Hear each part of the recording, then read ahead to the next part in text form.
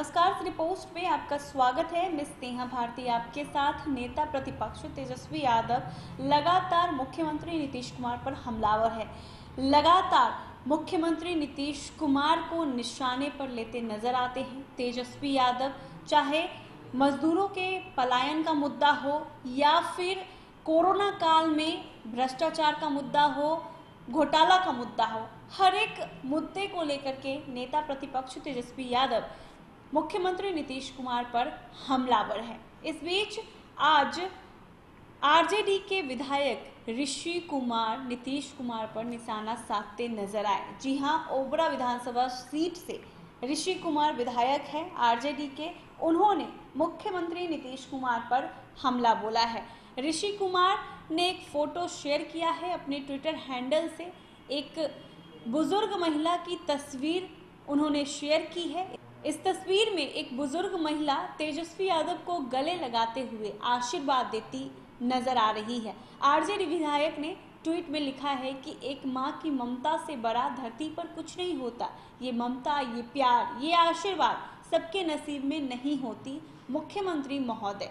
जी हाँ ऋषि कुमार, पूर्व केंद्रीय मंत्री कांति सिंह के बेटे हैं और बिहार आरजेडी का प्रमुख चेहरा है। विधानसभा चुनाव 2020 में आरजेडी ने वीरेंद्र कुमार सिन्हा का टिकट काटकर ऋषि कुमार को ओबरा सीट से उम्मीदवार बनाया था। ऋषि कुमार के स्थानीय नहीं होने के कारण उन्हें अच्छा खासा विरोध भी झेलना पड़ा था। ऋषि कुमार ने ओबरा सीट से तिरसठ वोटों के साथ जीत दर्ज की थी। इन दिनों नीतीश कुमार बिहार सरकार में भ्रष्टाचार मुद्दे को लेकर के लगातार विपक्ष के निशाने पर है। सूत्रों की मानो तो मंत्री और वरिष्ठ अधिकारियों के बीच, अधिकारियों के तबादले को लेकर के पेच फंस गया था, जिस कारण यह बखेड़ा खड़ा हो गया, जिससे अब सरकार की किरकिरी हो रही है। इसे लेकर के नेता प्रतिपक्ष तेजस्वी यादव ने भी नीतीश कुमार पर हमला बोला। ट्वीट करते हुए हमला बोला और लिखा कि बिहार में भ्रष्टाचार रूपी गंगा ने तबाही मचाई हुई है। खुद मंत्री और सत्ताधारी एमएलए खुलेआम स्वीकार कर रहे हैं कि बिना रिश्वत दिए कोई बाबू साहेब व अधिकारी काम नहीं करते।